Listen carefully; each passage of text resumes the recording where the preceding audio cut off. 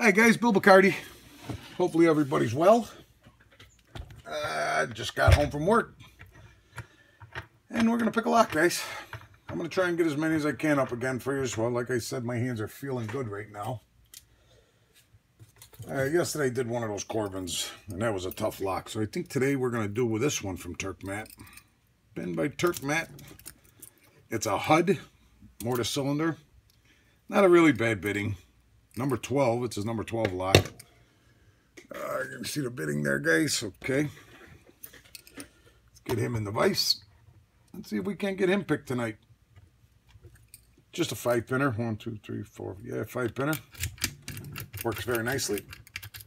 Let's see, it's all locked up there, guys.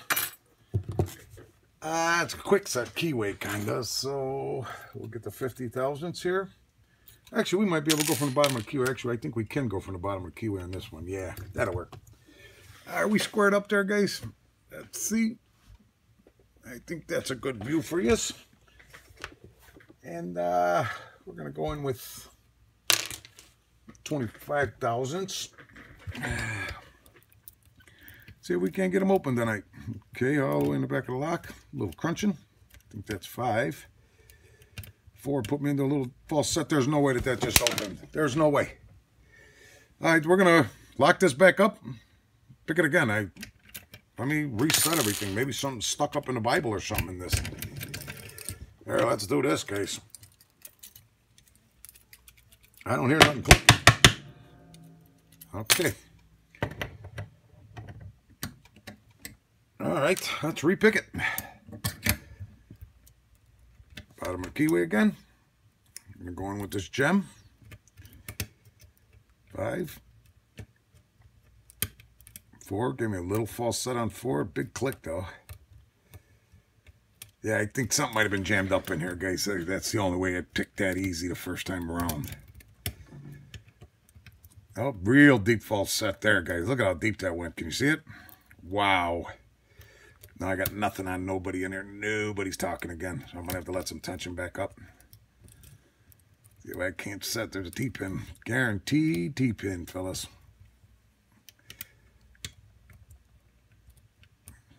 Look at how far I'm turning it. Jesus. Okay, that was an overset for sure, but now I just got it back. Okay, look how deep that false set is again, guys. Jesus. Turk, Matt, like I said yesterday, you guys are all calling yourself newbies. Let me tell you something. You're making some pretty hard locks here, guys. Okay. Uh, I feel like I'm overset on something. What if it's a key pin, T-pin? You know what? We're going to relock and start over because Okay, five, four, three puts us into that real deep false set. So it's one or two holding us up right now. Okay. See, I'm getting nothing on none of the other pins here, guys. Yeah, but you guys are saying these are all newbies. These are making locks that are really, really hard, guys. So I think you got to quit calling yourself newbies. You guys are pretty good pickers. Okay. There's that deep false setback again. You know what? We're going to go to this diamond here because I feel like I'm not getting high enough again.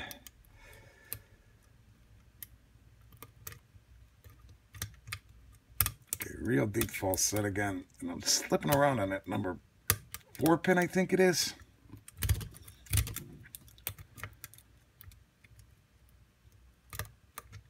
Ooh, I'm back in that deep false set again. Yeah, this is a pretty tough little lock for a little five pinner. Kwikset keyway.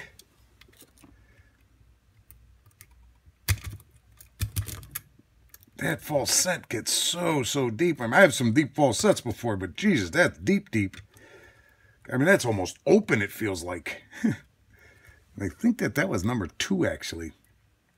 But something's still not set because See, as soon as I touch that one, it goes into that deep false set again. So I'm not high enough there for some reason, guys. Let me get that reach.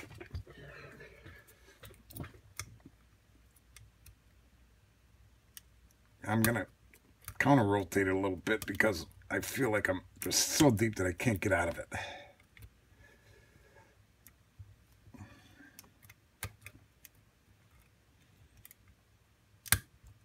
Okay, that's an overset for sure there. For sure that's an overset, guys. Okay, let's start over. let's go backwards instead of six down. We're gonna go one to four and six, one, two, three, four, five, six, one, two, three, four, five. I'm sorry, guys. See that deep false set again. Look at Jesus. And then when you get into this, you can't get back out of it.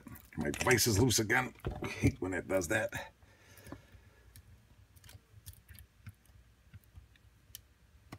Okay, so I'm kind of rotating it again. But as soon as I touch two, it goes right back into that. So we're going to have to set everything else and then go to two, I think. There it is. It's open, guys. Oh, goodness gracious. That was a tough little lock, guys. little five pinner. Wow. Turk, man, I don't want to hear no more of this newbie stuff going on because you ain't newbies making tough locks like that, guys. You can see it's picked here. Okay. I'm going to try not to lock it up. Uh, am I in frame there, guys? Yes. Okay. Pull these two screws off of it. Like I said, there's definitely a really, really deep T-pin in there because you've seen how deep that full set was. Oh, you didn't tighten these too tight. That's good. I put one together and uh, I don't know, it had a Loctite or something on the uh, threads. It was an Everest that uh, Apache Locksport was picking. he says, uh, he asked if I put it on with the impact wrench that you put tires on cars with. So we got to put a shim in here. it was, oh, it was a hilarious moment, guys. I thought it was funny. Okay, well, that shim slid right in there, so hopefully we'll be okay. I'm going to turn these key pins a little further toward me, so this way we don't get jammed up on nothing. Oh, I see the T pin that's in it right now. There's what it is. There's some key pin pinning pins here, guys. Wow. I see awesomeness in the whole thing here. Let me show you that everything's in and working. Jesus, guys. I mean, I thought we're all friends here. Can you see inside that? They're all in and working there, fellas. Everything had to be picked. Threading in uh, uh, one, two, three, I see thread. Uh, I'm sorry, two, three, four, I see threading in. There's one. He is a keep, a teep, uh, pin and pin, key pin. Number two is threading in it so deep that you can't even get the pin out. Number three. There he is. Number four. Number five is another T, uh, uh, pin and pin. I'm sorry, guys. All right, there's nothing done in one and five. Three, two, three, and four are all threaded, guys. Let's see what he's got upstairs here. Uh, let's get this shim out of here first. Okay. My tweezers here. Okay. Number one. He's just like a tapered. Get the spring out of there. Okay. Copper. Short copper spring. Number two, he's another, like a tapered. Oh no, there's something else going on in there. What else is, the, what is that? He has a wafer behind it for some reason. Maybe it's to give you a different false set or something? Oh, wait a minute. What is going on here? I don't know where that came from. Is there a hole in this? Yes, there is. Okay. I see what he's got now. Whew. That was kind of scary. I didn't know what it came out of. I didn't see it.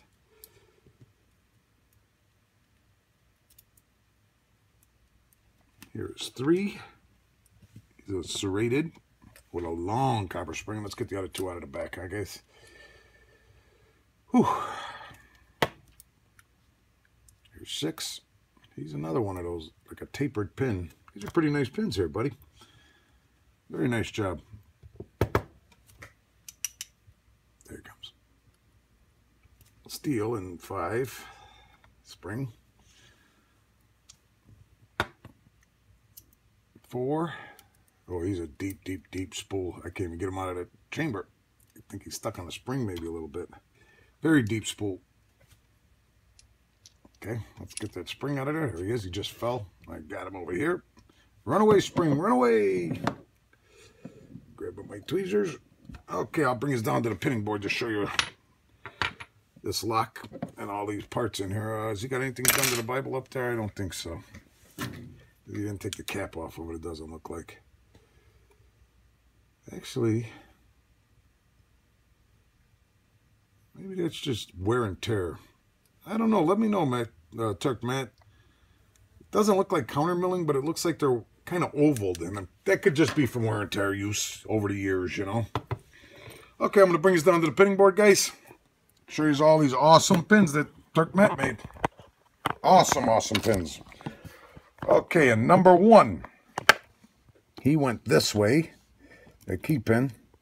He's a pin and pin, very, very cool. Turns into a T-pin. That's where that real deep false set was coming from. And then this one was in here, number two. Oh, and it had this, uh, it's like tapered, the driver on the top with a copper spring. And then in two, we had this, I'm going to say that's a spool key pin with this and this rod slides inside of it. Oh, that rod's steel too, because it's sticking to my tweezers. And then it had this on the wafer on top of it with a long steel spring on that one, guys. Then in three, we had this serrated key pin here with the serrated driver up above. And they're like, like I said, they're like, uh, they're like rounded on the ends, like tapered almost, like a ball. Uh, with that real long copper spring there. Then four, we had this spool up top and a serrated key pin down bottom. Very nice. Steel spring up above him. And then this is a really cool pin. This is another pin and pin key pin in five with this up, the same spool, the same uh, driver up above with like the rounded ends. And what's really cool about what he's doing here is this was in like a T-pin in the back. So when this key pin was compressed, it pushed this part up out of the sleeve a little bit. Pretty cool. I got to say, Turk that's nice. Very nice job. Let me stick that together and see if you can see that, guys. Oh, actually, it didn't. I thought it did. Oh, yeah, see, there it is. See, see how it sticks through? Like a T-pin almost there. Absolutely awesome pins, my friend. Okay, here they are real fast again for you. That's three, four, five. Guys, thanks for watching. I really appreciate it. Have a great evening and good night.